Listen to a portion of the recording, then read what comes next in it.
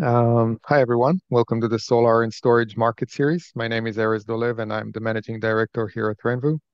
Today, we're going to be hearing from uh, the Growatt team, uh, Dave Dean, Product Marketing Manager, uh, Tyler, Tyler Young, North American Marketing Manager, Ryan Gravel, Senior Service Manager, and Fermin Carrillo Tovar, a Field Application Engineer, about their off-grid and hybrid inverters and batteries and have a live uh, commissioning of the MIN hybrid inverters. Uh, but before we dive in, and while we're waiting for more people to join, I'd like to give a little background on Renvu, as well as some of the products and services we offer. Renvu is a US-based solar equipment distributor. We've been in the industry since 2012, and we currently have uh, fulfillment uh, facilities in California, New Jersey, and Texas. Our sales staff all have background within engineering and solar installation. A few products quickly to spotlight here. We carry the whole solar portfolio and can beat any price you see out there. Uh, we recently had a webinar with Lumin Smart Panels and carry their outdoors and indoors models on the shelf. This is a great device to add uh, to a solar and storage project uh, since it allows you to use the existing main and sub panels and control the loads remotely during power outage or set rules for which loads will continue to work and which ones will be dropped. Uh, we have plenty of Zenshine 405 black modules, which we are offering at 16 cents when you're buying them with the Blikir carports. Uh, we have the whole portfolio of Enphase IQ8 series and offering the IQ8H at 25% below the market price right now. So check in with us if you are using those. Uh, Growatt released their EV chargers, uh, Thors, uh, which all uh, UL certified and have 50 amps uh, output. We are also adding Growatt three-phase hybrid inverters option now. So let us know if uh, you have any project that can use those. Um, and if you are looking for T-gaskets to make solar arrays watertight, Blikir has several options uh, for different models uh, to uh, to seal the gaps. Uh, email us at info at renvu.com if you uh, or see our webinar uh, follow-up email with more info on those. Um, here's our bulk module price list for la large volume options and our upcoming uh, offerings of solar modules. We carry Zenshine, Canadian Solar, Hyundai, Hyperion, REC, and more. All our brands are Bloomberg Tier 1. Uh, we are sharing in the chat now a link to this page. Uh, we update it regularly so you can stay up to date with our latest deals for bulk orders. Uh, I'll take a minute to also mention the Blikir residential carport. This is a great way to expand existing solar systems or an alternative solution where you cannot install solar on a roof and when customer is looking for more added values, like uh, protecting their cars, shading, uh, it can be a patio, um, canopy. it is designed to be assembled by a small crew. It doesn't require any specialized or heavy machinery to install. This is a solar structure, so it's eligible for the 30% ITC and possibly also the extra 10% for US-made products. It is it is modules and inverters agnostic. It is designed and fabricated in the US and made from US sourced galvanized steel and comes with 25 years warranty. Uh, the structure is coming with a structural engineer P stamp, and you can install up to 24 solar modules with four columns of six, six modules. A two-car carport will generate about 10 kilowatt uh, um, of power. You can use residential and commercial modules with it with load capacities of up to 48 pound per square foot snow, 215 miles per hour wind load, and seismic design category S. Uh, one last item to go over before we start uh, is our solar design and quote tool. You'll find it at the top of our homepage on renvu.com. You can generate as many quotes as you need in a couple minutes without the need to wait for a sales engineer, and it's available 24 7 always updated with the latest products and pricing. First, you select the components you'd like to see on your uh, quote, then choose your panel. I chose the Zenshine 405 Black. Then you configure the racking system from wide range of options, tilted, flat roof, ground mount, and carports. I created array, uh, first array with uh, two rows. Uh, first row will be with seven modules in uh, landscape. And then the second row, I'll put uh, 10 modules in portrait. The second array with another row of 10 modules in portrait. I'll change the rails to black and black clamps as well. And then the span to six feet. Uh, the system creates a sketch of the arrays with the dimensions so you can verify that uh, this design fits to the space you have.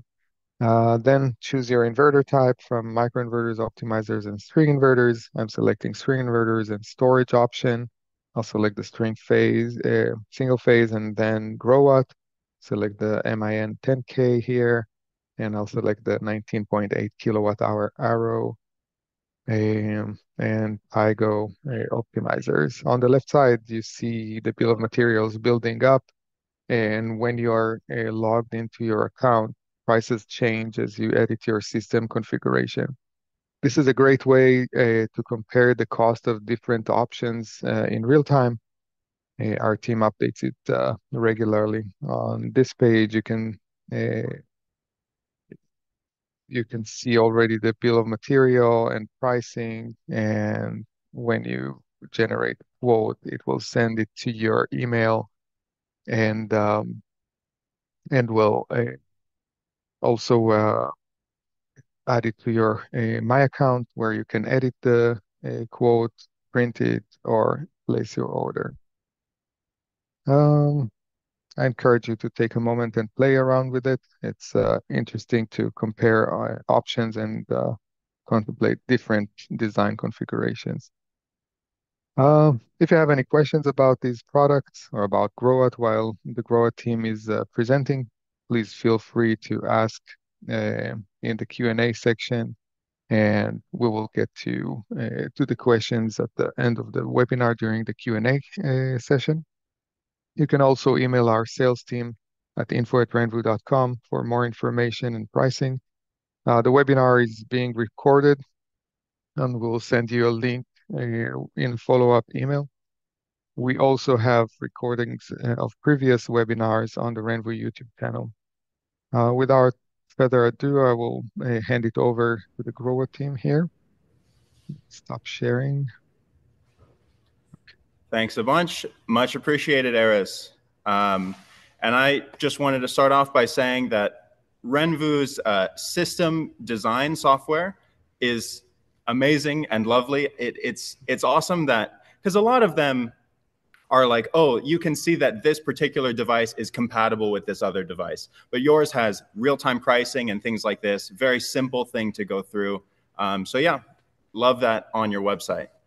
Um, so I'll go ahead and get started with uh, the Growatt portion of the presentation here. Um, my name is Tyler Young, the North American Marketing Manager. Uh, also on our team, we have uh, David Dean presenting right behind me. He's the North American Product Marketing Manager. And then we have uh, Ryan Gravel presenting after him, uh, who is the uh, Support Director, and Fermin as well from the Field Application Engineer team he's here and going to help with any technical questions you guys have. Uh, so let's get started. I just want to go through uh, my background here. I'm currently in our testing lab and facility warehouse in Los Angeles, California. You can see some of our products around. This is our newly launched SPH uh, hybrid unit here. Dave is going to be talking about this one. Uh, back here, we have the, our EV charger that Renvu is currently selling as well. And then off on this side, we have our residential system. This is the SYN transfer switch, the MIN inverter right there. And below it, we have both our ARO battery, which Renvu currently has in stock, and then our new APX battery as well. So without further ado, I'm going to go ahead and share my screen and do a bit of an overview of our 2024 product lineup. Then after that, I will do a live commissioning of our residential MIN inverter. So you guys should be able to see my screen now. Let's get the slideshow going. Uh, we see also, oh yeah, now we see it. Okay, there we go. Smart energy storage solutions from Growatt, 2024 product line for the US market. Uh, Growatt's overall business focus, uh, we have four primary categories PV inverters, energy storage, EV chargers, and smart energy management. Growatt as a company has had sustainable growth over the last decade plus that we've been in business. Uh, we have over 1.9 million cloud users and a 3.1 million annual inverter production capacity at our manufacturing plant in China. And we are in 180 countries across, across the world. We have more than 5,000 employees, more than 1,000 engineers, and nearly 5% of our revenue is reinvested in R&D. This is our manufacturing center. Uh, again, also 3.1 million inverter capacity. But in addition to that, we're producing battery packs, uh, 400,000 per year as well. And we recently opened a new manufacturing center in Vietnam that's just this year. Our global presence, again, 180 countries. Uh, we are the largest residential inverter supplier in the world and top four PV inverter supplier as well. This is our uh, team, team members in the United States. As you can see, we have field application engineer uh, like Fermin, who we have on the call here. Uh, we also have sales, uh, product managers like Dave, and of course support, which Ryan will cover. Number one, residential inverter supplier, top four PV supplier.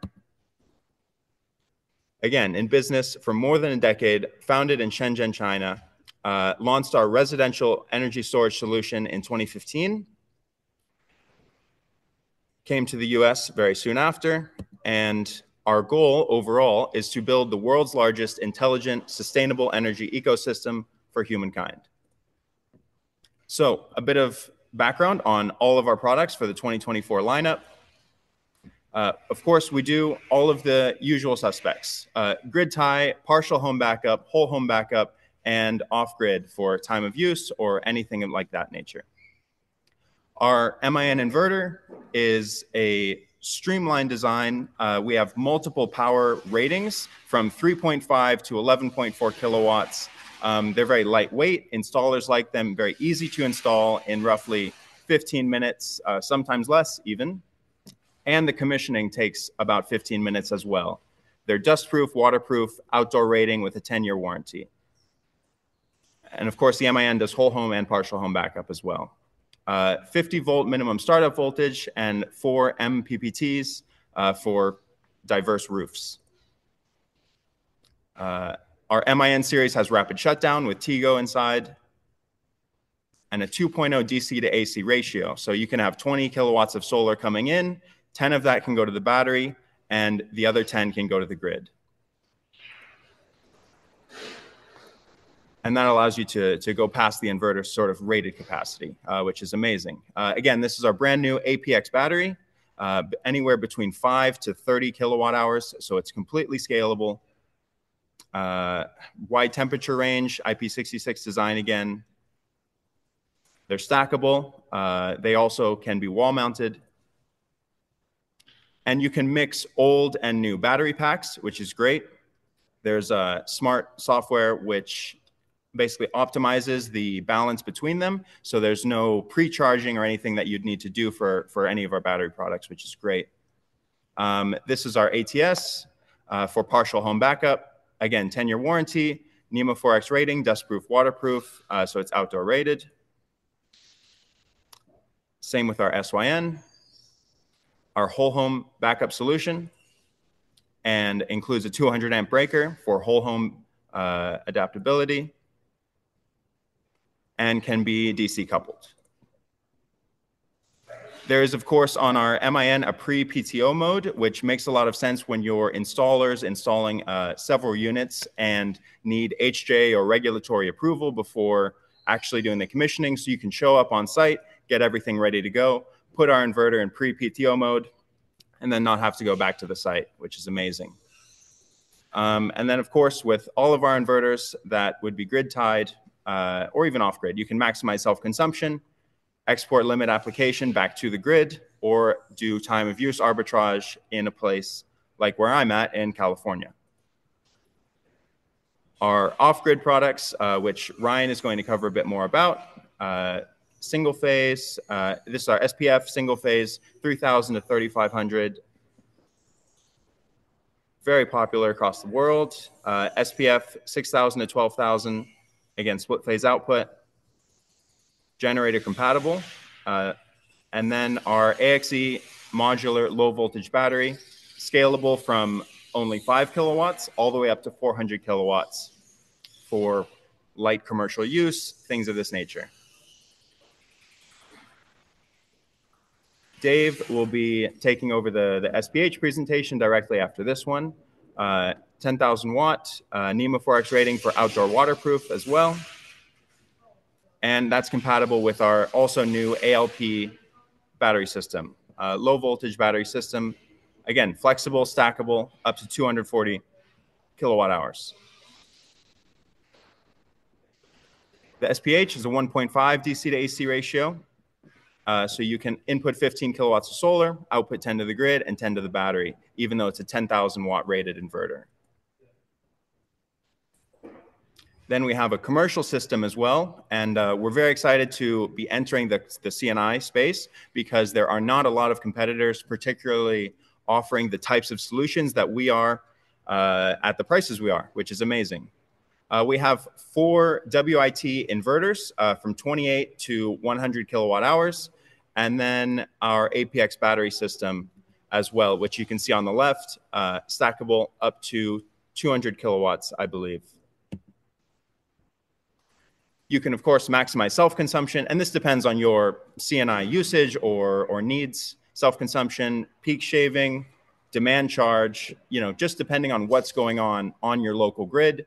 You can set up a microgrid and you can use it for uh, power quality if you're having a lot of generators or things like this going on. Of course, use it for backup or possible to mount outside or inside. Uh, we do recommend you put shade over the C&I inverters, but uh, they are very flexible and outdoor rated.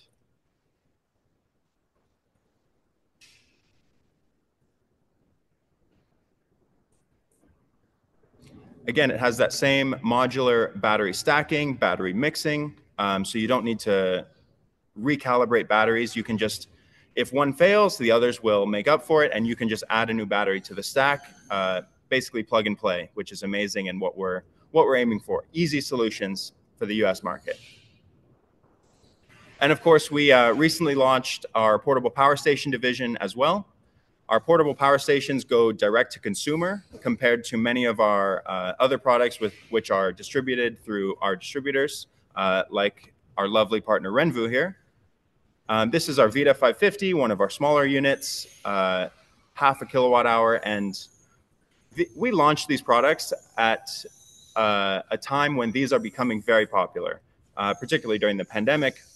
People wanted emergency power. They can be charged with solar or the wall outlet or a car charger. Um, this is our larger 1300. And we release these products similar to many of our others at top of the line specs. So we really only compete with one or two other companies in this area. And we're happy to, you know, say it it charges uh, one hour to 80% or 1.6 hours uh, from zero to 100. And these super fast charging times, whether from AC wall outlet or the solar, uh, that's really what makes these units the top of the line. Uh, our new Infinity 2000, which also has an RV plug. People often use generators in their RV. Our Infinity 2000 can be swapped out immediately and used uh, to power things like air conditioners or mini splits uh, especially in an RV application or even construction off grid application as well. And the 2000 is expandable. Those expandable units are going to be available on our website uh, within a month or two. Then upcoming, we have a, a uh, 3.6 kilowatt and again, stackable, expandable, portable unit. This is going to be for, you know, tiny homes if you need portable power. Uh, I know we have a company that's looking into some uh, actually military applications, so that's very interesting. And here's the whole range here. Of course, Renvu is familiar with our EV charger. We have an AC EV charger and a DC EV charger. uh, level two and, and level three charging, uh, 2.5 hours and 1.25 hours for the 40 kilowatt charger. And that, that is a DC charger. So one's AC, one's DC. Um, and for can be used for you know multiple car households or even uh, smaller commercial applications in the EV charging space. So we're really excited to launch the uh, the 40 kilowatt charger this year as well. Uh, PV linkage mode, uh, your EV can be dynamically charged by surplus energy only. Compatible with every single type of EV as expected.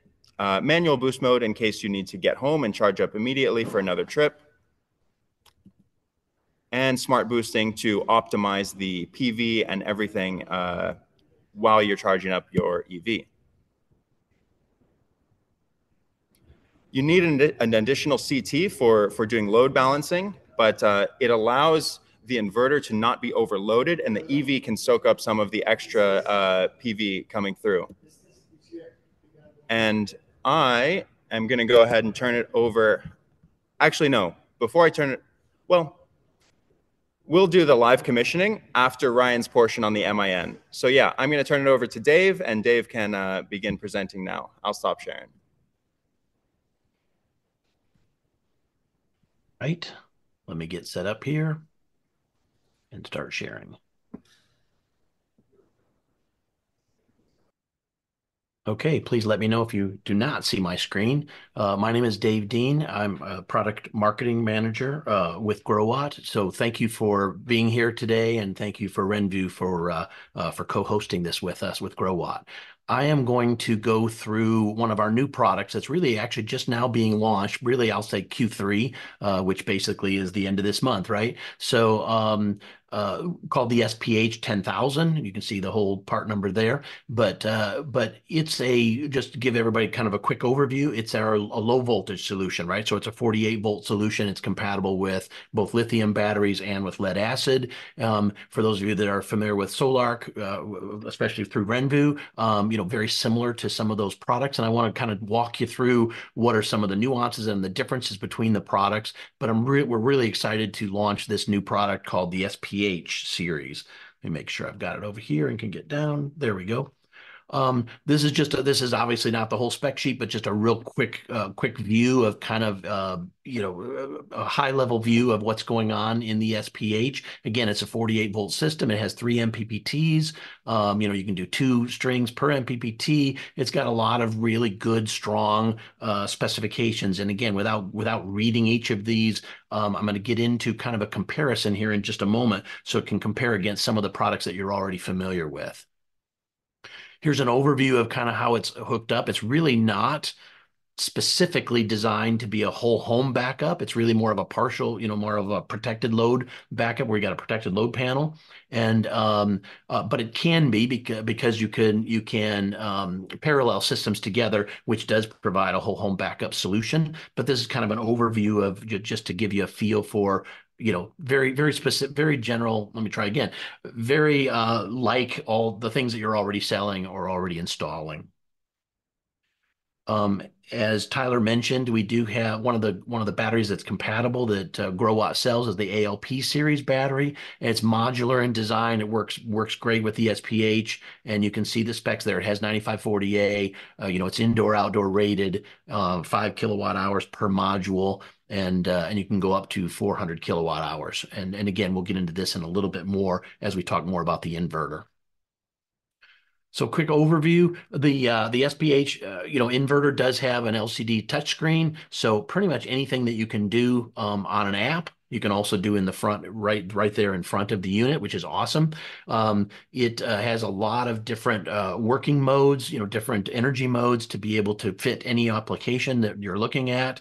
Uh, it, it, has, you know, it does AC coupling, DC coupling, so it's great for retrofit applications. As I said before, it will will support um, lead acid batteries and lithium batteries. It's also got uh, it's also compatible compatible with generators, and of course it's outdoor rated, and you can see that the uh, the temperature range that it will operate and uh, and the warranty, strong warranty. So why buy this one, right? There's a lot of options out there. Why buy the SPH? And I've just pulled out a couple things here that that jump out to me, and then we're going to literally do a comparison. But it's you know it's a really the, the good news is an inexpensive hybrid solution, both for good for good for on grid and off grid. And in this solution, you're not forced to pay for things that you may not want or may not use. And we'll talk about that in a moment. It's easy to install. You can do it from the touchscreen. You can do it from the app. It's easy to commission. Uh, flexible operating modes. And again, we talked about some of these others. You can have up to six inverters in parallel.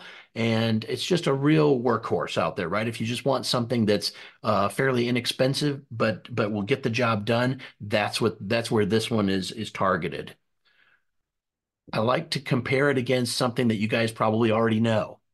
And uh, I'm going to say, you know, in addition to offering Growatt, you know, as Rez already mentioned, you know, Renvu offers a good selection of 48 volt inverters with some good companies like Fortress Power and Sol-Ark and others to fit lots of different applications and budgets.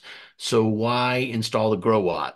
Um, basically, this isn't your typical um, product comparison where where we as a manufacturer say, okay, let's handpick the specs and really want to compare, and all of a sudden magically Growatt becomes the best of everything, right? Every manufacturer can do that; they can handpick the specs. But what I did is I wanted to be real, and I wanted to show a handful of specs that you could actually see the differences, good and bad but and and then we'll get to the bottom why then Growatt but if you look at it if you know for those of you of course that are already doing with business with renvu i believe you guys sell the Sol-Ark and the fortress um, and those are very similar and you can see the pv input. Um, you know you can see that they're pretty similar across the board Growatt's a little bit less than the others. Number of pvt uh, three right across the board. Um, I put a little asterisk next to the Sol-Ark because as you go down in the Sol-Ark line, like the 12K or, or less, you get two MPPTs. So, so even, so I'm trying to compare the Growatt against really probably some of the nicest uh, units that are out there today with the Envy and the EG4 and the and the 15 the limitless 15K. So so just to give you a real feel, and again, we don't always win in every situation, but I want you to see how close almost everybody is, and then where the value play comes to play here. Um, MPPT max voltage, you can see right across there, Growatt is right in that happy middle of, of the others. The startup voltage, we're a little bit higher on that one. Uh, max input current per MPPT. Uh, I wanted to point this out because although the other inverters, the ones that you're probably familiar with, have 25 amps you know, on MPPT number one, then it's 15 amps and 15 amps. That's the same way you can see on the Limitless, it's 26 and then 15, 15. On the Fortress Envy, it's 25 and then 15, 15. On the Growatt, you can see it's 22 amps across the board. So, so you know, so who wins or whatever, kind of again, very application dependent on that. Maximum charge discharge current, you can see we're a little bit lower on that, but but again, in the ball game for sure all the certifications, all the compliances of all of these are basically the same, right? They can be installed in Hawaii, can be installed in Puerto Rico, can be installed in in the U.S. You know, in the in the in the U.S. and um, you know has all of the all of the certifications you would expect with with uh, leading inverters. Um, one of the things I want to point out is maximum units in parallel. Well, you know, you can see Growatt has six, others have 10. The Limitless, the Sol-Ark Limitless has 12. If you go down in their product line, it actually goes to, to nine, I believe it is, units in parallel max.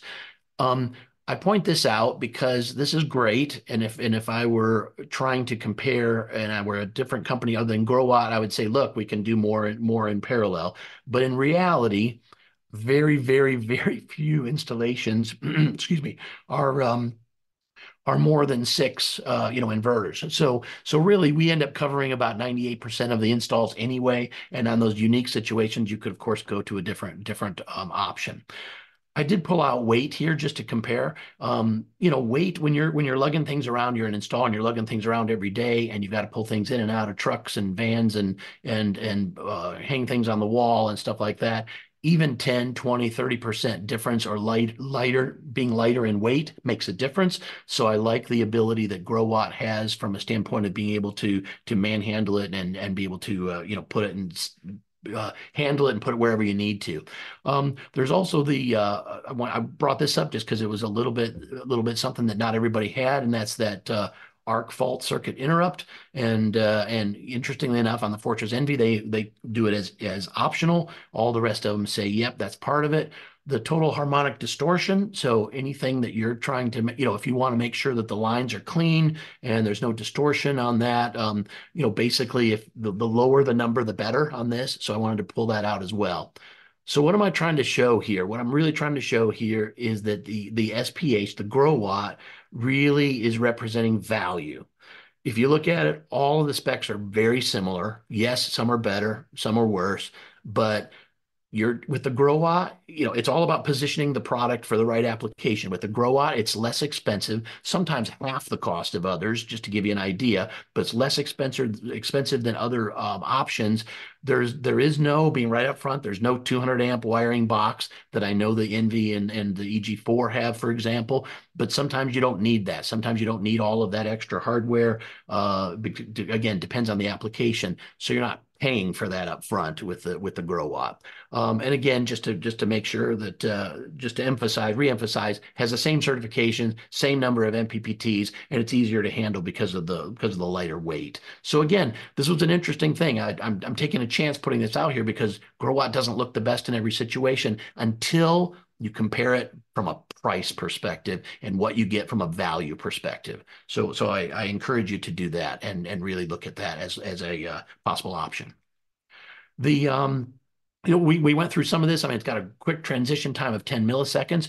Others do have 10, some are at 20, some are at four. So, so again, right in that, that meaty middle, I'll call it. Um, you've got three MPPTs. We talked about the, the charge discharge current. A lot of these we've already mentioned, um, six units in parallel. It does, the last bullet, it does support, uh, um, you know, three phase systems. And we'll talk about that. I, have got a diagram that I can show you there in just a moment. And we can also answer questions on that in the Q&A uh, if you have more questions on three-phase. The uh, the touchscreen, um, again, everything's available from the front. It's all touchscreen. You can look at it. You can see what the status is, whether it's on grid, off grid. You know, the, obviously time and and what the production and and things like that look like. You can also use the screen to you know to do grid settings and op change operation modes and you know anything that you want to be able to do from the app. You can do from the from the front screen as well. Um, Tyler did hit this this screen already. It's a, even though it's called a 10K, uh, it can actually bring in 15K of PV, 10K of which can go to the loads, 5K of which can be uh, directed to charging the battery multiple MPPTs, very flexible. Again, very a good strength of the SPH product line. You can do one string per MPPT or you can do two strings per MPPT. And that's really what this is showing, uh, again, to, to be able to cover uh, shading or um, you know, different, you know, different areas of the roof or whatever, uh, unique situations. And this will, uh, will allow you to make the best um, configuration of that uh, safe, reliable, all the you know the safety listings, and I won't necessarily go through all of these, but you know you can see the words protection, protection, protection, monitoring, protection, protection. I mean, there's just uh, anything you need um, is you know, from a safety perspective is there. And again, what I'm pointing out here is that um, these are this is the same things that other guys offer, but we offer it at less. Um, the uh, SPH, we can have up to six in parallel. This one happens to show three, but obviously that gets up to 60 kilowatts if you put six in parallel. On the three phase, uh, there's we've got the ability to do 120 three phase and 208 three phase. And again, we can get into this if you guys want more details on this. It's in our install manual as well as we can handle this at the um, at the Q and A at the end here give you a quick overview of the hardware. Uh, this is a close-up shot of the, you know, of the area where you would do the wiring. And you can see in the upper left-hand corner is where the batteries would connect. I'm just going to hit these really quick. This section right here toward the bottom left um, is where your PV lands. Next to that, to the right, is where your your grid or your generator, your where your grid connections come in, your generator if you had one, and then and then the the loads would be would go here. You've also got some RJ45 connectors here, which is for your communication from your battery to the uh, to the inverter, and um, that's really about it. And then there's another connection over here, which will I've got some blow up uh, pictures of this so you can see it a little bit better.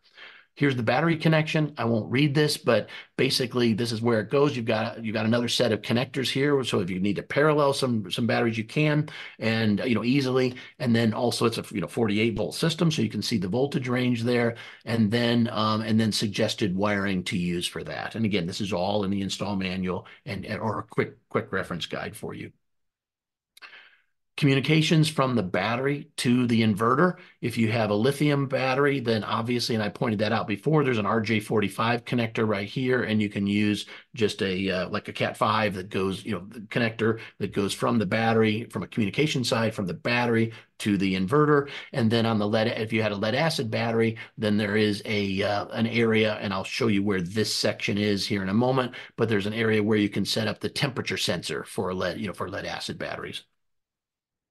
And there it is. So again, this is a picture of the of the unit, but off to the left uh, side, there's a little, um, you know, some some connectors there, and that's where you basically all of your low voltage stuff goes, you know, connects. Whether it's your CTs, whether it's your generator, um, you know, on off signal, and as well as the um, your temperature sensor if you have lead acid batteries. So that's where that all connects. And then your PV connection, again, won't go through all of this, but it does suggest what kind of wire to use and where those land. And uh, and it's easy to get to. The area is big enough to get your hands in there without being too cramped, and uh, uh, makes it makes it uh, for a quick installation your uh, AC connections, you know, for your grid and your generator, or all your input and your, and then of course your load output for that. And again, it uh, suggests what what size wire to use and how to strip the wire and all that kind of stuff. But this is where those wires land let's get into some of the some of the cool stuff about it you know one of the things that makes sph unique is that there's lots of variable lots of ways to to program the system to set the system up to to, to create different parameters so that it will operate in uh, in different scenarios and i know and i'm going to hurry because we don't have a whole lot of time for, for others to present but um, but you've got very similar. If you're familiar with the Solar, these screens should look somewhat similar and um, and and feel you know feel very similar as far as the the ways you select make selections. Um, this allows you to do on grid, you know, self consumption, you know, zero export mode, export mode. Uh, you know, what's the priority of of you know PV, then grid, then battery, or do you want to change that? It allows you to say I want the PV to um, to first power the load, or I want the PV to first uh, first uh, charge the battery. Um, you know, just so all sorts of stuff. Everything's available here to be able to change. The install manual is pretty clear to to walk you walk you through those scenarios. Self-consumption mode, same thing. You know, again, you just choose self-consumption mode. You've got a couple of options there, whether you want battery first, load first, and you know that kind of thing. And uh, again, very fairly straightforward. Zero export, same thing. I'm just going to keep moving on if you guys are okay with that. Uh, time of use, there are five, I'm sorry, six time of use windows. And, you know, um, you know, time of use, obviously you can, you know, set the time when, when, um, you can um, you know set the time period to implement the setting. You can um, set the battery charge from a voltage perspective or a percent or a state of charge percentage um, you can, you know, tell it whether you want to use the generator to offset the shortage when the battery is down and less than the value that you set here. So again, lots of different options, um, which which makes it great because that way you can set it for any application. Also makes it a little bit complicated sometimes because there are so many options. But again, everything is fairly straightforward on how to how to make that happen. Uh, peak shaving, same thing. You would you can see the the red bar there. Um, you can set grid peak shaving, you can say the maximum power, and uh, you know that that you you want to you only want the grid to go to that level, so you can always be sure that you're not you're not going above that and and getting uh, getting excess charges from the utility. Generator setting, again, it's compatible with a generator. You basically say, you know, how it works, you know, what percentage you want it to uh, to charge at, you know, um, uh, you know, gen you, you can um, uh, you know, optionally select things to say generator charge. If it's enabled, the generator will charge the battery when the generator's on. Again, pretty pretty cool setup uh, from a generator perspective. This is probably the most um, they call it the classic setting. This is probably the setting that's used the most. And again, this would be it's like okay, choose this, select this, put this in here, and uh, and this is probably what's used the majority of the time out there for installations. And that was it in a quick overview. Thank you for your time. I'm going to stop sharing and pass this over to whoever is next on this. Thank you, guys. Thank you all. Uh, and that said, and thank you, Dave. Uh, that said, this should be jumping over to myself. Uh, again, as mentioned earlier in the presentation, my name's Ryan Gravel. I work with the service team here in the US and Canada for Growatt. Uh, I'm going to be going over our off-grid product selection as well as our min hybrid uh, solution, which is more of sort of your turnkey uh, application here in the States. But that said, happy to go through these with everyone. Uh, so as mentioned, the first topic will be off-grid solutions. Uh, basically, we have a few slides that sort of overview the uh, interconnectability of the systems, the flexibility. As mentioned, the off-grid products, well, they can be tied to a utility grid, are mostly focused around single phase or potentially split phase application. Uh, you can, similar to the SPH, run multiple units in parallel for more robust solutions. Uh, but that said, again, we'll be focusing on items like the SPF TL LVM, which basically the naming structure actually will indicate the function and form of the system. So, for example, the system here listed the TL LVM US would indicate that it's a transformerless low voltage unit, uh, has 120 volts single phase output. Again, you can run multiple in parallel for a split phase application. You would want to pair that with an auto, uh, an ATS switch. Uh, basically, that will help you get the true split phase output. And the M would indicate an MPPT controller. You will see that across our product line just to ensure maximum efficiency and output of your PV strings obviously, like most string inverters, you do want to coordinate your panel arrays and strings by azimuth.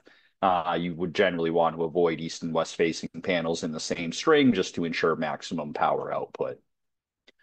That said, uh, as we go through here, uh, again, you have a bit of a range uh, here with the SPFs. You will typically have the 3 and 3.5K models, the 3.5 and 5K models. Uh, the SPFs, again, are scalable because you can run up to six units in parallel. So depending on your application, you do have a lot of flexibility to make sure that you are covering the needed loads. That said, uh, you do again have things like the equalization around charging, the ability to connect generator for your outputs. Uh, again, being fully, truly off grid or grid connected as needed. But again, these systems are focused mostly for off grid application.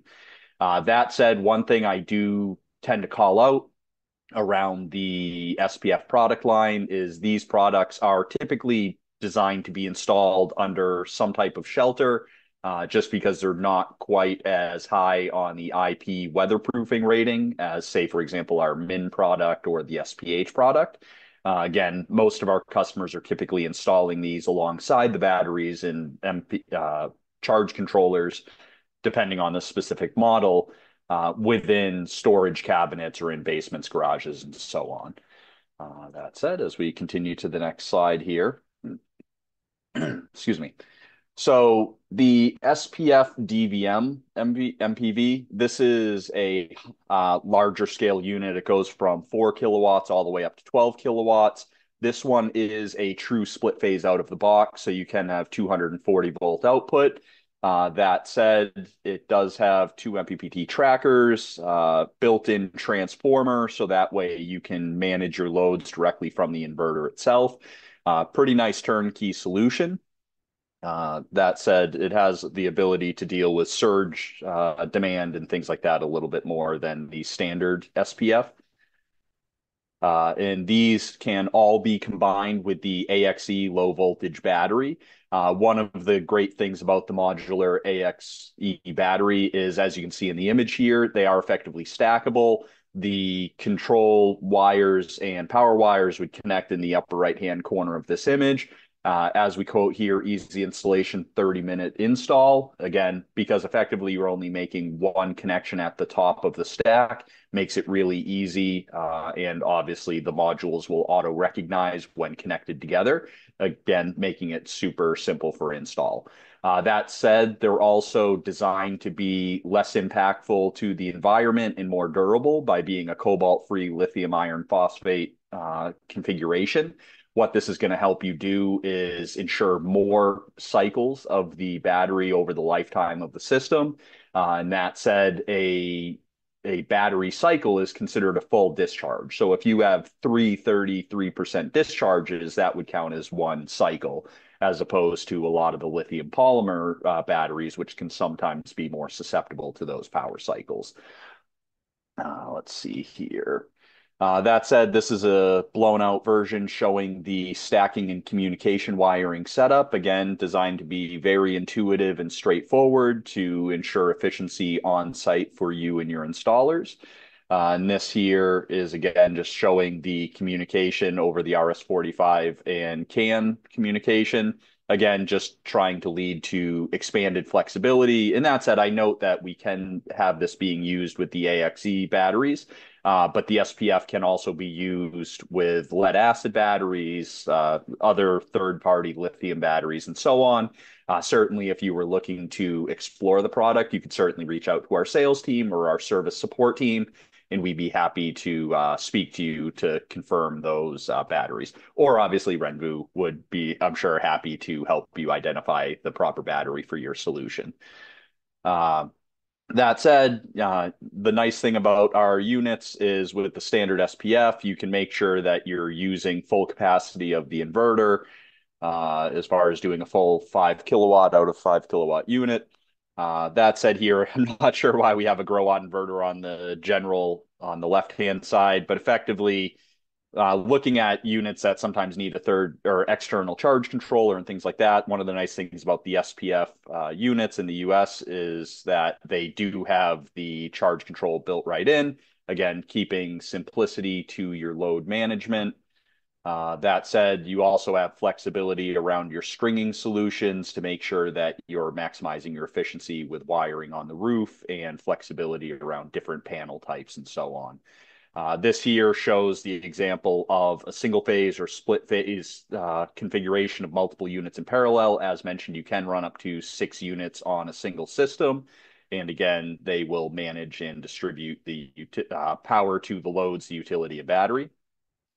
Uh, that said, you also have equalization for charging. So that way, as mentioned, you have the flexibility around either uh, charge point, charge control, or uh, battery management system uh, charge control.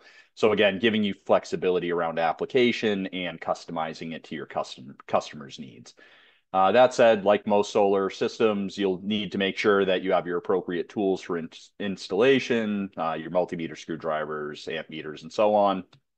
Uh, that said, this one here on the left-hand side is showing one of the standard SPF units you'll typically notice, and actually, I believe there's a slide down that'll show how you can uncover the bottom of the SPF unit and access your AC connections, your PV connections, your battery connections, and so on. Everything will be on the lower side of the inverter uh, enclosure itself. That said, one thing that has come up in some markets with AHJs is uh, depending on the inspector, sometimes they do want uh, rigid conduit or troughs underneath the SPF units. We have seen that feedback, and we've actually seen a lot of success with running these right adjacent to uh, electrical troughs. Uh, so again, depending on your local inspector, you may want to discuss that with them during application, but I'll show how that compares to the MIN series product in a moment uh, where we have built-in knockouts and a terminal box built right into the inverter. Uh, that said, you know, while the system is in power, obviously you don't want to be disconnecting the batteries under load. But that said, uh, we do limit, we do uh, state that you should have no more than three uh, parallel battery groups uh, on the system. And as noted earlier, uh, you do generally want to make sure that you are being protected from water and uh, very fine dust. Again, uh, it's an IP20 rating for the enclosure. Occasionally, you may have to clean the fans on these, but that said, at the price point, at the value, and with the flexibility, we still think there's a tremendous value point to your customers. Uh, again, for both off and on grid solutions. But again, as long as the inverter's mounted somewhere that's not in direct exposure to the elements, you should be fine. Uh, and that said, this is just a little table showing some of the uh, wiring and current uh, inputs and limitations. Again, a lot of flexibility depending on what your application case is. We do have uh, quite a variety of SPF products available for your use. And similarly, same thing for the AC wire size solutions.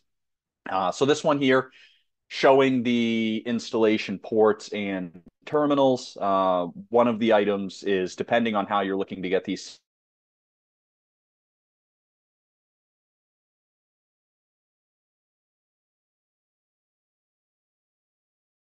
Uh, but all of our SPF products also have an optional accessory, which is known as a data logger. Uh, it's a little USB based stick, which allows the customer to either connect their SPF system to the cloud uh, via Wi Fi or 4G cellular connectivity.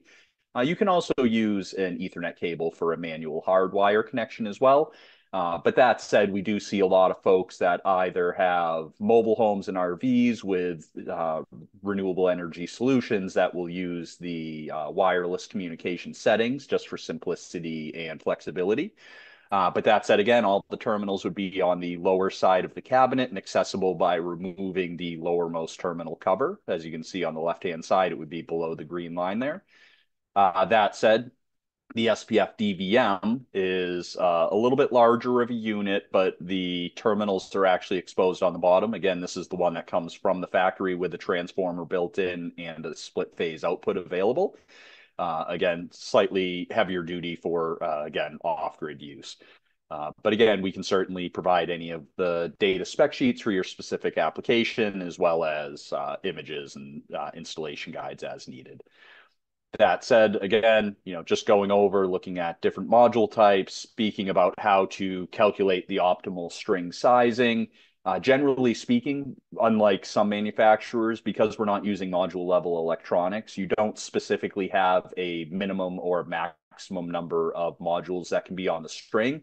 Really, your considerations are your voltage and current that will determine, depending on the type of module you're using, how you would string those uh, strings to the inverter. And again, we're here uh, as well as I'm sure Renvu is as well to discuss that with you and make sure that you're making the appropriate pairings to get the most out of your system.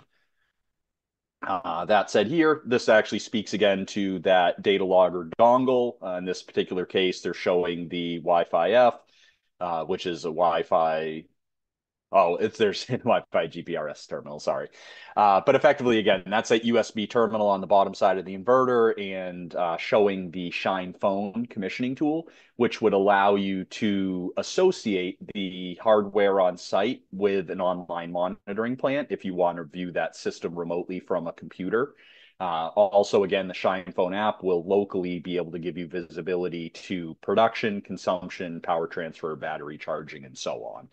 Uh, again, pretty pretty all in one as far as being able to access and maintain your system, which is great. Uh, that said, here just showing a, a setup of a parallel single phase connection, effectively just making sure that you are either having a single inverter or multiple inverters, identifying which machine it is in that, excuse me, uh, within the organization of the system. Again, you can assign machine numbers so that they know how to react with each other. And again, depending on single split or three phase application, we'll make sure that they're operating in conjunction to make sure it's matching your utility requirements and your load requirements. Uh, so as opposed to the three phase, or sorry, single phase, this is the three phase example. On the right hand side, you can see the L1 phase, L2 phase, L3 phase where you can notice it says 3P signifying three phase and then one, two, three indicating which position the program is uh, for each individual inverter. Again, just adding more flexibility to your solutions for you and your customers. Uh, that said, just talking about different batteries, for example, here, lithium battery connection, showing how you would configure that in the battery type. Uh, and actually, I guess we don't have a lead acid slide on here. Uh, but that said, we can jump into the different power modes. which really this again is going to depend on your customer's needs, customer's priority. If they are utility connected, whether they have a time of use charge or uh, import export limitations and so on. But again, allows you to prioritize solar first, utility first, uh, leave it flexible with solar and utility having equal priority and similar for output and charging. Uh, so again, depending on if you want power to go to your battery first, if you want to go to your loads first, if you want it to go to the utility first, and so on. Uh, again, a lot of flexibility there. And then again, some working modes showing uh, sort of what that prioritization is based on utility or solar or battery being available. Again, uh, don't want to spend too much time on this because we want to be cognizant of getting through everything. That said here again, solar versus utility first. Uh, this is output priority setting mode. Here we go. Uh, so again, remote monitoring. This just sort of shows the uh, data flow between the local communication, the cloud, the Shine phone app, and the Shine server app. Again, whether you want to look at it remotely on a tablet or phone device versus the internet or locally and again, if you're looking to have either a cellular connection or a Wi-Fi connection. Uh, but again, in the upper right-hand corner, it just shows some example of power flow and data for the machines that you would have available to you, uh, both as an installer and as an end customer. And then a couple of project cases showing the application of these different products uh, worldwide. Uh, you can see South Africa, Turkey, and Brazil here. Uh, as mentioned, you know, we certainly sell quite a number of these products, uh, but we do see a really high adaptation of our Min series product, especially in residential use cases. And again, we'll show those in just a moment here. Uh, so that said, jumping right into the Min. Uh, this is the product that was specifically sort of optimized for the US market. It's designed to be a grid tie inverter with off grid backup as necessary during power outages or uh, utility management. So again, you can have it PV only as grid tied. You can have it with a battery, but uh, no backup. So effectively, this is for peak shaving or uh, time of use application. You can then also have the system with an ATS or SYN for partial home backup. So you may have a main, uh, say, for example, exterior panel with heavy duty loads such as well pumps, pools, and HVAC systems. And then the interior panel can be backed up. Uh, you can do that in increments of either 50 amp, 100 amp, or 200 amp backup, depending on the application. And then in the lower right hand corner, we have the full whole home backup where the entire service panel would be fed via the uh, SYN, which is an ATS uh, energy management system and smart meter all built in one. Uh, that said, this just shows here sort of the application where, again, with the MIN series product in the SYN, you could have two power sources from grid or generator. We're actually also working on an AC coupling function for these systems as well. Not quite ready yet, but long term, our goal is to have the ability to have a third party uh, PV system also integrated within the backup and off grid. Uh, that said, within the inverter and APX battery solution, you could also integrate a EV charger. Here it does note bidirectional. Uh, the bidirectional function isn't quite ready yet, but again, similar to the generator function, we're hoping that'll be ready quite soon. Uh, and that said, you could either have some DC loads, uh, but again, most people are typically uh, running a protected loads panel. In this case, again, it's showing a whole main loads panel backed up. Uh, the solution itself, uh, really popular because again, it has a wide range of application all the way from three kilowatts all the way up to 11, four kilowatts. Again, uh, can typically battery is DC coupled, but again, we have an AC coupled application as needed for folks that already have a PV system, but may not have the roof stringing to integrate directly with the Growatt. Uh, again, have integrated EMS software. So effectively, you can prioritize if you're, again, grid conditioning, maximum self consumption, backup only, and so on uh, AFCI uh, protection just to make sure that you're not having any shorts and that it's up to the latest compliance for US market. Uh, by default, the systems will automatically have a communication module or data logger installed, which are either a Wi-Fi and LAN configuration or our most popular variant, which is Wi-Fi and 4G. That said, we can certainly, if you have a customer that purchased a specific unit or had a specific unit installed and you have a concern about the communication or their uh, signal quality once it's installed, you could certainly reach out to our service team and we're happy to help support you.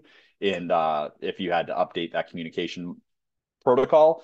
But that said, again, the Wi-Fi and 4G tends to probably by about an 80% margin uh, be the preferred unit for most people. In that said, the Min series product can use that same Shine Phone app we talked about a moment ago for commissioning, as well as Shine Tools, which is an installer optimized application. And again, we'll talk about those a little bit later. Uh, that said, this here is the APX high voltage battery. So unlike the SPF, which work on a 24 or 48 volt low voltage architecture, the high voltage batteries would be scaled on a 400 volt architecture. Uh, the APX battery is great because it's flexible from 5 kilowatts up to 30 kilowatts. It can allow your customers a low barrier to entry to uh, critical load storage and things like that. Uh, but again, if over time they decide they want additional runtime or additional output capacity, uh, you can add additional battery modules to increase the current output and make sure that they're keeping all their uh, loads online, even in the event of an outage. Uh, and between both the inverter and the battery themselves, they're both IP66 uh, rated, which means they're resistant to uh, uh, continued water exposure, not submerged, but uh, water rain and uh, splashing, as well as fine dust. so again, just keeps things simple, and also lithium iron phosphate for both thermal stability, puncture resistance and uh, no risk of thermal runaway because of the stable architecture of that uh, battery type. And here, just showing some examples of what the visual appearance of the different configurations look like. Uh, we do recommend that you don't exceed five modules stacked high. Uh, and again, we just do this for a safety and aesthetic standpoint. You can go up to 20 kilowatts in one array, but if you go over 20 kilowatt hours, we do recommend splitting it into two stacks, again, just to make sure that it's not exceeding uh, height requirements. Uh, that said, we do still have uh, stock of our ARO high voltage battery as well. These are single cabinets which have three battery modules inside. You can see the battery module on the right. They're 3.3 kilowatts per, and you can run up to two of these cabinets per MIN inverter. So your sizing would be from 6.6 to 20 kilowatt or 19.8 kilowatt hours, effectively 20. Uh, and again, designed to basically send and receive power, NEMA 4X rated, so they are designed to be in and outdoors. Uh, that said, you know, really flexible solution, 10 year, 6,000 cycle, uh, and field serviceable, field replaceable for easier flexibility. Uh, but again, for some customers that sort of have typically, again, if you're just doing uh, a, a, partial home backup, I think these are a great solution. With the new APX, I'm I'm a giant fan of the uh, stackable, scalable units with that uh, going all the way up to 30 kilowatt hours. But again, we have the different options depending on what your customers' needs are, and we're happy to discuss that and cover it with you. Uh, that being said, this is a photo of our smart meter. It's designed for uh, up to revenue grade metering or sorry, not technically not revenue grade because it's consumption versus production. Uh, but that said, accuracy as fine as 0.5% uh, with the uh, Acrel CTs. We do also have the ability to use uh, Rogowski coils and slim CTs as well. Uh, we can certainly provide the spec to that if you have a unique application case where a standard traditional CT does not fit. Uh, but the nice thing about these is you can use them with a PV only or partial home backup for uh, grid uh, grid conditioning, no export, and so on to make sure that you're meeting the utility requirements. If you do do a whole home backup with an SYN uh, automatic transfer switch, that will actually have a smart meter and auto transformer integrated. Uh, so that said, you don't have to buy the additional accessory. It'll automatically measure your import and export values and consumption on the home. And uh, if you do have a system with an SYN and battery backup, you can also see that power management uh, online and on your online monitoring. Uh, that said, the ATS itself versus the SYN is again just an auto transformer with a 50 or 100 amp backup capacity. It's designed to do partial home backup for critical loads or protected load panel, and uh, again is scalable depending on uh, what you're looking to do within that property. And again, the SYN de- designed to be a whole 200 amp pass through for an entire home panel backup also supports generator uh, integration for backup as well. That said, again, uh, ShinePhone app. This is your local hotspot commissioning. ShinePhone again is also something the end customer could use to be able to look at and monitor their system locally if they chose not to use the online monitoring portal. Again, we always typically recommend having the system connected to our server that allows us to better service both the customer and the installer in the event you guys had a question or needed operational help. If it is online, we can even offer some remote servicing options remotely. Uh, but again, if it's not connected to the internet, we would just have to speak you through that. And then beyond that, we also have, again, the Shine server, which is the online monitoring portal. Again, here showing daily and lifetime input, output, export to grid, load consumption, so on. Also showing your battery and load uh, charging and discharging profiles, seeing how that looks for you guys. Uh, and then we just sort of jump into some wiring examples, uh, depending again if you're looking to do a partial home backup, as you see here, with a sub panel and backed up loads versus a main panel and heavy duty loads that would drain the battery too fast or possibly overload depending on what the circuit was in what the uh, power to the home was. Uh, again, just single line single line diagram showing the position of the sub panel, smart meter, the battery systems, inverter, and so on. Uh, this particular setup, it looks like they are using an SYN 200 amp uh, backup uh, at, with a sub panel, uh, which again, you can use an ATS or an SYN for a partial home backup, but it would require an SYN if you're looking to do a whole home backup. Uh, and then this, by comparison, is that whole home backup. Again, just breaking down the position of the min inverter, two battery packs, the SYN, and the whole home load distribution panel. Again, uh, a lot of flexibility there, and our field application team is happy to walk through any designs with you that you might need. Uh, that said, jumping over to the inverter installation. So this shows a bit of an image showing how the inverter is set up. Uh, again, the lower half of the cabinet is uh, able to be open to expose everything from your PV inputs, your DC disconnect switch, uh, which is available from the lower left-hand side as well, the antenna ports, which come in from the data logger on the terminal block down to the bottom of the inverter. The inverter will come with two antennas for both the Wi-Fi and 4G if applicable. If you have a Wi-Fi only unit, it'll have one uh, one antenna. That said, you have all your inverter bracket on the back, uh, the heat sink to make sure that you're running cool enough. Uh, one question that does come up with a lot of installers is around spacing. We do specify a 300 millimeter left, right, up, and down uh, pathway to allow airflow around the inverter. This number does not stack if you have two inverters side by side. You would not have to allow two feet between. You could still stick with the one foot as long as you don't have a heat source or other obstruction that might prevent airflow around the units.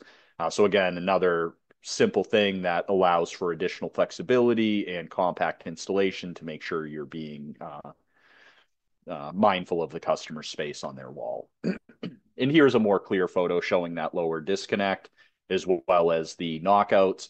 One question that again comes up often is the DC and AC input knockouts that are pre-marked there are a three quarter inch variant. Uh, if you do need to use a one inch variant for your conduit needs in your operation, that's acceptable. It won't cause any warranty voids or anything like that. Uh, again, I know that's something we come up with commonly in the field. That said, uh, all your PV terminals are in the middle center on the lower side. Right above that is the data logger, which is your communication module. To the right of that, if applicable, you could have a production revenue grade meter. Uh, again, the standard meter is a 1% margin of error. The revenue grade meter will bring it down to 0.5%.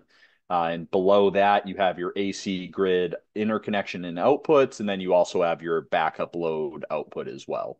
Uh, and to the left of that, your battery input also. That's your high voltage DC connection. Uh, just showing the PV wiring or battery wiring. All your PV positives will be on the left, negatives will be on the right. Uh, that is slightly unique to our product to some of our competitors. Rather than pairing each string directly, uh, there'll be space between the two terminal blocks. The maximum PV voltage in is a 600 volt DC, but that is essentially your open current voltage generally speaking, your target would be just below 500 volts in operating load. That's going to make sure you're getting the absolute most. You can go up to 550, uh, but you will potentially see a little bit of derating as you approach that 550 absolute limit. And again, the 600 is the top limit in open circuit current or open circuit voltage. Sorry. Uh, the AC grid side, pretty straightforward like most. You'll have your line one, line two, and neutral uh, being mindful to also ground the system as well uh, based on your local AHJ and electrical code. Pretty straightforward. Uh, backup loads similarly uh, to the left hand side because it is an AC tied connection. It would be right on that same terminal block. And then again, antennas down below the unit. So again, uh, you will notice one is male, one is female. So there's no real way to mix those up. Just be mindful as you mount them. And then jumping into the smart meter, again, if you have an SYN, it's already going to be included. But if you do have an ATS or a PV only system, the smart meter will allow you to make use of import export limitations and also measure uh, power going to loads or to grid as necessary. Uh, that said, our CTs are designed to place the arrow facing the load, so away from the grid with that, obviously, you want to make sure your L1 CT is on the same electrical phase as the L1 input for reference on the meter itself. Otherwise, you could risk having an inverted or reversed uh, consumption number. But as long as you have that phasing correct, you should be fine. One thing you can always do is temporarily turn off the PV production to make sure you have a positive consumption value and then re engage the PV conversion, at which point you'll know that your meter is calibrated properly and your import export is accurate. Uh, one other call out I always do, just coming from the operations and install side, always do your best to try to make sure your CT is between the meter and the main breaker on the home. Any circuits or breakers that are on the utility side of the consumption CTs will not be able to be measured by the CT. So you always want to be upstream of the first breaker on the customer's loads. Uh, here, just showing some of the terminal blocks and how they're wired up. Pretty straightforward. Again, uh, your reference AC wiring, your signal wiring, and then the CTs L1, L2. Uh, and then here it just shows the terminal ports in the bottom of the uh, main control board within the inverter right above the PV inputs. and again, all of these wiring diagrams would be in the installation manual of the MIN product as well as the SPF. Uh, so certainly as you go through to install, uh, all that will be in there for your reference. Uh, final jumping over to the ATSs themselves. This is just an exploded view of the partial home backup ATS unit. As mentioned again, we have two backup sizes, uh, both UL listed, just making it uh, easy for your application. And again, you would just create a protected loads panel to power off of this box. And again, similar wiring diagram showing your input and output of your L1 and L2. and then again, just wire sizing requirements and so on. Uh, so pretty straightforward. Uh, this is an exploded view of the SYN. So as mentioned before, not only does it have the auto transformer and a main disconnect breaker, it also has a smart meter integrated, also IP65 protection level and UL certified. So that said, again, you can use this with either a single phase or split phase output, again, leading to additional flexibility. But the primary application of this, again, is for a whole home panel backup, also for the ability to integrate a generator if needed. Uh, again, the benefit to that is generally speaking, you don't have a minimum generator size required.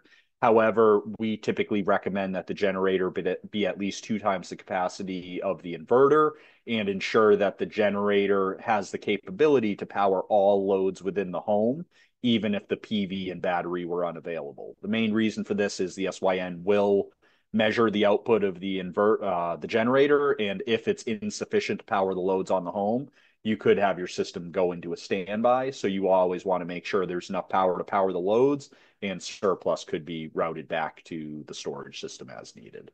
Excuse me. Uh, and again, just some photos showing the bottom of the SYN, the predetermined knockouts that are available for wiring, again, giving you flexibility for installation, and then just the different terminals throughout the machine. Again, all of this will be in your installation manual. Uh, let's see here. Again, I mean, pretty straightforward. Uh, RS485 communications, line one, line two neutral, uh, just making sure you're not having any neutral loops between your protected loads panel and your main panel. Uh, pretty straightforward. APX, the battery itself, again, it's a uh, very straightforward modular design. The uppermost component is the power module itself, which effectively will communicate back with the SYN and the inverter to make sure that uh, battery is being charged and discharged as needed. The battery cells themselves stack below that main unit and come pre-packaged with power and communication cables. Once they are stacked and secured to the wall, uh, whether it be on a wall mount or a floor mount, you effectively would then just wire them in between each of the units and the communication would go back to the main inverter and SYN and again, it's self detecting, and you would just set the battery from the selection while you were commissioning. Uh, my preferred method of doing so is with the Shine Tools app, which makes it super easy. You can select your ESS backup mode as well as your battery type between the ARO or the APX. Uh, very easy application for you. And here again, just showing what the max kilowatt output is depending on the size of the stack, how many battery modules you have and again how you on the right hand side how you would stack them to make sure that they were safe secure and not prone to tipping uh, by getting too tall. And again the wiring diagram here showing coming from the battery module on the top left coming down the left hand side going to the top of the second array and then back down. Again already pre-cut wires uh, between the battery modules themselves so the only wiring would be between the inverter and the first battery module itself or power module itself. Sorry.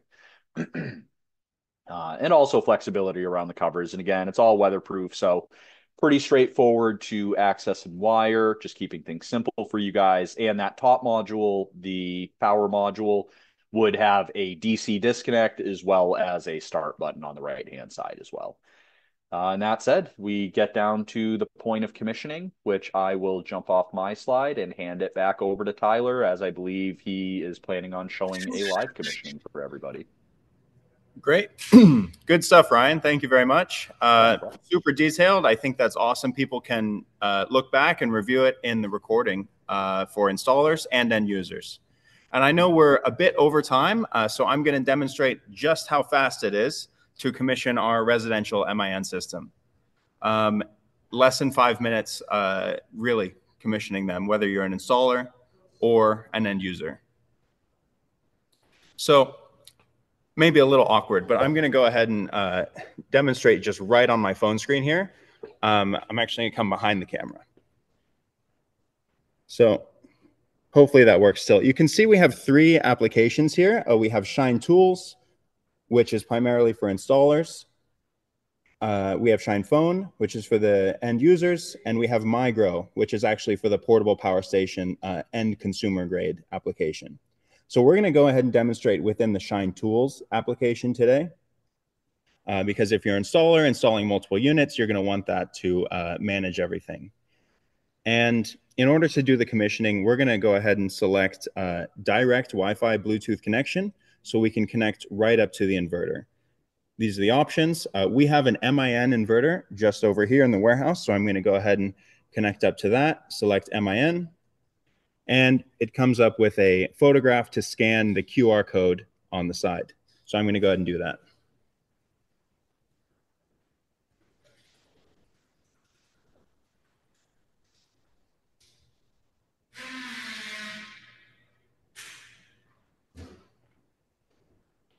There we go. It automatically recognized the uh, serial number and automatically input it. And we're going with the direct Wi-Fi connection. There it is. You can hit join.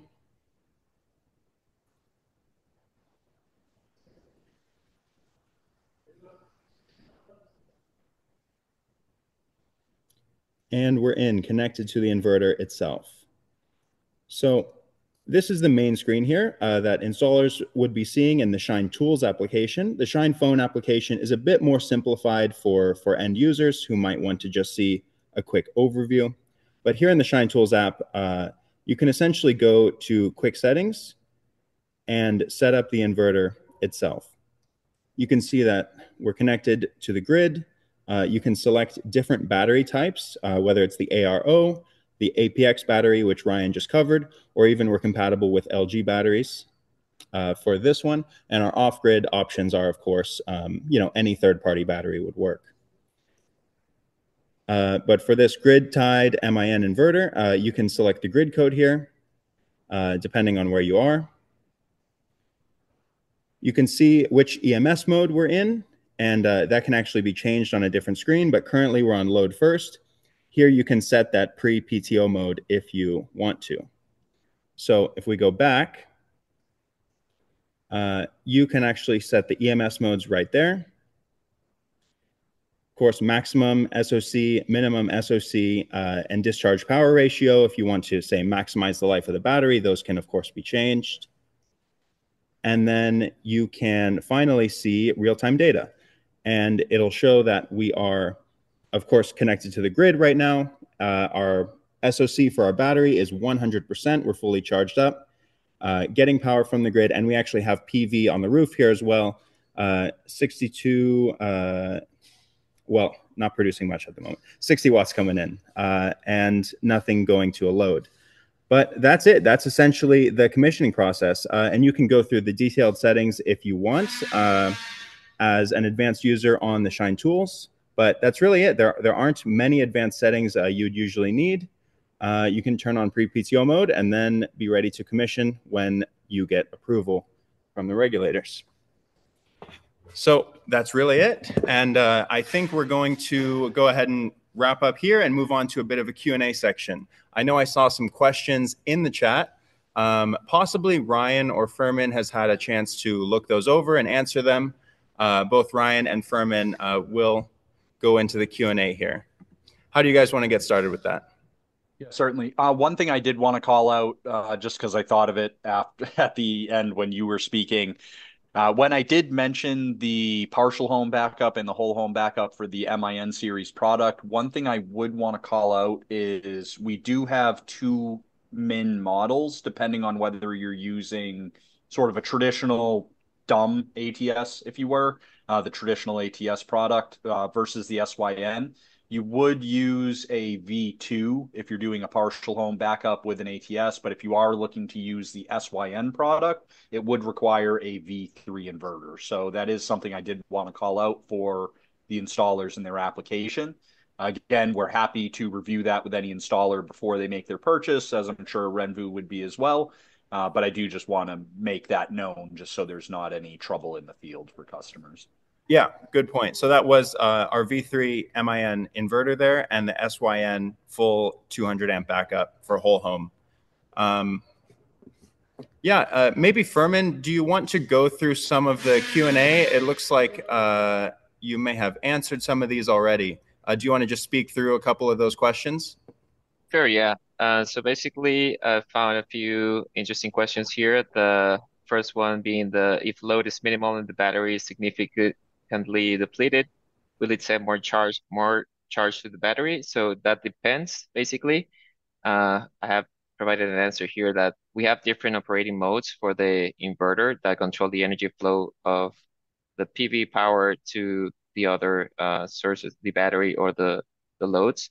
So it controls the, the energy flow in different ways depending on the user's needs and depending on which operating mode you choose. So we basically can choose between either charging the battery at full capacity or exporting the, the, the energy to the load or to the grid at full capacity, charging the um, batteries from solar energy only or uh, using the power for self self consumption only. So yeah, those are the different modes we have.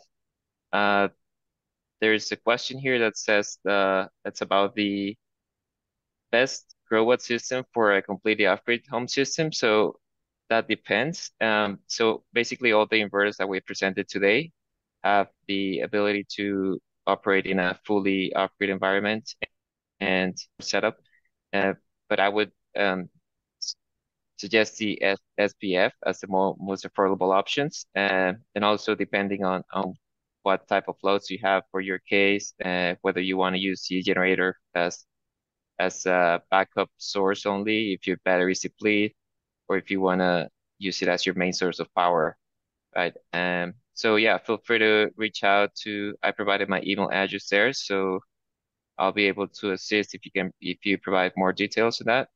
Um, another question is related to the systems that are certified to UL 9540.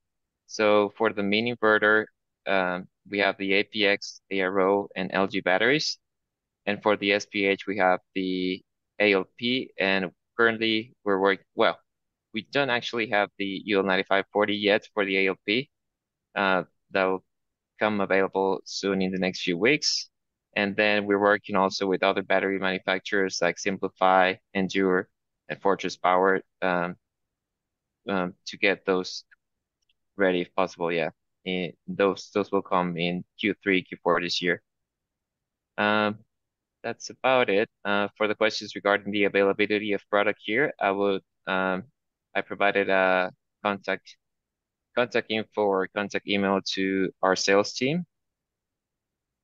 And I believe that's that's all. Yeah, that's all on my side. For some of the product availability questions, uh, maybe Erez can jump back in and say uh, what you guys currently have in stock in the warehouse. What are your planned orders? Um, you know, things like that. I think that'd be a general uh, great way to wrap up. So installers and end users can possibly come by the warehouse get some products. Thank you. Um, so we will share with uh, in the follow-up uh, email uh, what we carry and what we have. Um, obviously, we can uh, also order uh, if we don't have it in the warehouse. We can certainly order it uh, and drop ship anything that is needed, um, and it's available from Growatt. Um, one question that I saw there, let me share my screen real quick and I'll I'll answer the first question. Um, okay. So someone asked, what if I have a module that is not showing up in your list of modules on your quote tool? Uh, what you will do on the first step instead of having the full system checkbox, you will uncheck it and uncheck the solar panels here. Go to the next page and it will allow you, instead of selecting the modules from our list, to put your own uh, module. So for example, let's say you want to put the Canadian Solar uh, 550 watt. You can just uh, simply put it, plug in here um, the relevant information. Um, this and the dimensions of the module. And then once you do that, our system will take that into account when calculating the um, the power uh, or the limitations of the inverters or uh, measuring for the racking that you're selecting here uh, with your uh, with your sketch and uh, arrays. So this is the first question there that I wanted to answer. Um, yeah, other than that, um, just uh, thank you very much, Growatt team, for for this extended uh, webinar. Um, you can also email our sales team with any questions at info at renvu.com for more information or questions if you have or pricing. As I mentioned before, this webinar is being recorded and we'll send you a link in follow-up email in the next few days with all the information about the product and uh, the recordings. Um, that's it. Have a great week, everybody else. Um, and see you see you soon. Yeah, thank you guys very much. Big thank you from Growatt. Thanks to Erez and Peyton over at Renvu. And uh, we look forward to sharing our solutions uh, throughout the future. Thank you guys. Have a good day. Thank you guys. Bye. Bye, everyone. Bye, man.